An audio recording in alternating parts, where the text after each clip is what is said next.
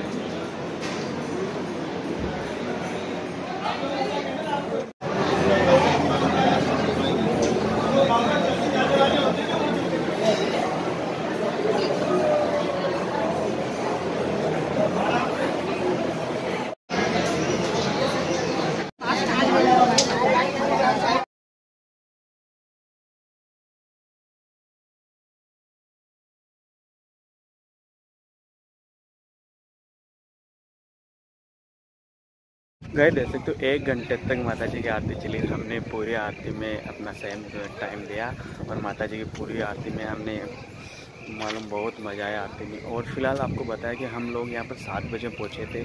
तो आपको पता है सात बजे, आठ बजे यहाँ पर अंधेरा होने लगा तो एक घंटा वापस निकल गया इसलिए आगे का व्यू आप नेक्स्ट वीडियो में मिलने वाला दोस्तों फ़िलहाल। क्योंकि इस वीडियो में आपको तो इतना कुछ मिलने वाला है नहीं, लेकिन फिर भी जो मैंने आरती दिखाई वो सबसे ज़्यादा बेस्ट है तन्नोट माता, जो पाकिस्तान के और हिंदुस्तान के जो युद्ध हुआ था उन्नीस सौ पैंसठ में। उस समय आपको मैं बता दूँ कि ये तन्नोट माता ही। है इन्होंने ही भारतीय सेना की रक्षा की थी और फ़िलहाल कितने कितने बड़े बड़े बम दिखाए थे यानी उन बमों का भी कुछ नहीं हो सका। क्योंकि उन बम को फटे नहीं यहाँ पर माता की नगरी में। तो ऐसे उन बम्बों को अभी भी संभाल कर रखा है हमारी भारतीय सेना ने। और फ़िलहाल मैं आपको बता दूँ दोस्तों, बहुत इंटरेस्टिंग है। और आगे की बातें आगे करते रहेंगे। तो देख सकते हो ये जो जो मेरे पीछे जो कुआ है, यही वो कुआ है जो बॉर्डर फ़िल्म में आपने देखा होगा।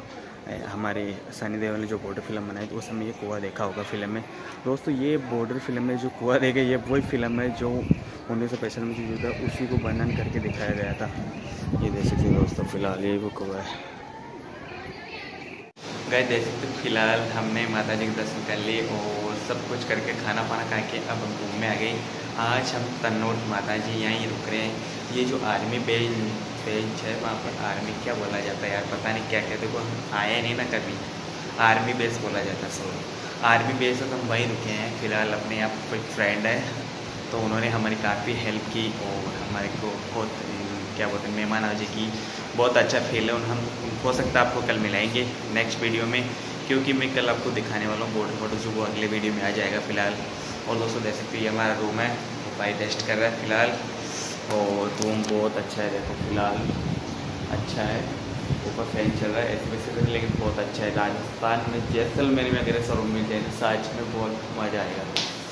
खाना वाना खा लिया कंप्लीट दोस्तों, अब सोने की तैयारी करते हैं और नेक्स्ट वीडियो में मिलेंगी। फ़िलहाल इतना ही दोस्तों, मैंने सोचा कि एक बार आपको रूम तो दिखा दूँ। हमेशा आपको रूम दिखाई नहीं पाता लेकिन आज मैं आपको रूम दिखा रहा हूँ। और अब सोने की तैयारी करते हो। सोने की भी अभी एडिटिंग करेंगी, जब भी आपको वीडियो पूछेगा आपके पास में। लगभग ना, मैं बता दूँ दोस्तों, मैं लगभग आपको पता कितनी, एक यूट्यूबर की ज़िंदगी बहुत कठिन होती है सच में, रियल में। बताओ आपको क्या प्रॉब्लम होगी मैं सुबह ना, दो बजे उठा था, चार बजे तक मैंने एडिटिंग की थी। आपको तो जो आज वीडियो आया था ना, मैंने चार बजे तक एडिटिंग की थी उसकी। अब मैं अभी अभी हम लोग फ्री हुए खाना फाना खा के जो भी बातें करनी थी, हम लोगों ने बहुत काफ़ी टाइम पैसे किया था भाई के साथ में, और काफ़ी चीज़ें पूछी भाई को हर चीज़ें पूछ के डिस्कस किया, बातें की, काफ़ी मज़े लिए और अब सोने की तैयारी होने से नहीं, इससे पहले मैं अभी एडिटिंग करूँगा। एडिटिंग करके लगाऊँगा। अब यहाँ पर नेटवर्क का इशू भी है क्योंकि यहाँ पर जियो ही नेटवर्क मिलता है। एयरटेल नेटवर्क नहीं चल रहा तो इसके कारण हो सकता है कल लेट तक मिल पाएगी आपको, लेकिन मिलेगी मेरे हिसाब से दस ग्यारह बारह एक बजे, क्योंकि मैं कल बॉर्डर इलाके में जाऊँगा तो वहाँ पर नेटवर्क इशू होएगा। तो गाइज़ इतना ही। अगर ये आपको वीडियो अच्छा लगा तो दोस्तों लाइक कर देना और अभी तक आप लोगों ने सब्सक्राइब सब्सक्राइब कीजिए और फेसबुक से अगर देख रहे हो तो दोस्तों फॉलो कर लीजिए। इंस्टाग्राम पर भी अगर आपने हमारे को फॉलो नहीं किया तो कर लीजिए दोस्तों। इतना ही दोस्तों। जय हिंद, वंदे मातरम, जय हिंद।